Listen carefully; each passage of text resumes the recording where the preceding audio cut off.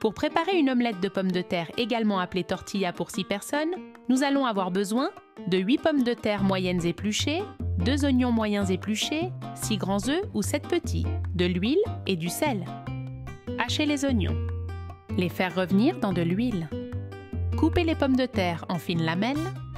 Frire les pommes de terre dans de l'huile. Séparer les jaunes d'œufs dans un grand bol. 5 minutes avant que les pommes de terre soient prêtes, ajoutez l'oignon et mélangez.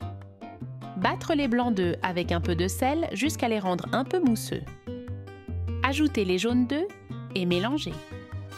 Ajoutez les pommes de terre et les oignons et mélangez. Versez le mélange dans une poêle profonde avec très peu d'huile de tournesol. Avec une spatule l'arrondir et laisser dorer. Retournez l'omelette à l'aide d'une assiette pour la dorer des deux côtés. Faire un petit trou au centre pour laisser la vapeur s'échapper. Retournez l'omelette à l'aide d'une assiette pour dorer des deux côtés et répétez l'opération le nombre de fois nécessaire jusqu'à ce que l'omelette soit bien cuite. Notre magnifique tortilla est prête. Une spécialité espagnole à ne pas manquer. Si ce n'est pas déjà fait, abonnez-vous à notre chaîne YouTube pour ne pas manquer la moindre recette.